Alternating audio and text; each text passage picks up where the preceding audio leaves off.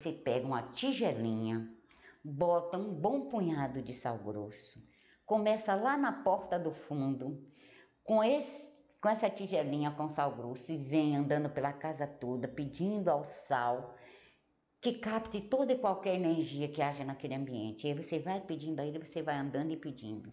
Pedindo aos pretos velhos, a todos os espíritos de luz, a todos os guardiões que lhe ajudem a purificar aquele ambiente, a purificar aquela casa.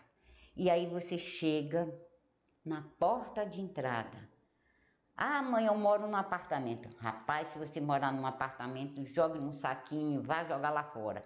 Mas se você morar numa casa e tiver uma porta da rua, você chega com a tigelinha assim, ó, na porta da rua e faz assim. Tudo da minha casa, de energia ruim, que não me serve, que me atrapalha ou que induz a violência ou desentendimento, agora está desfeito nos poderes de Deus. E ó, para trás.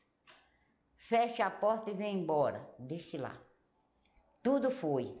A casa está limpa, as energias estão renovadas.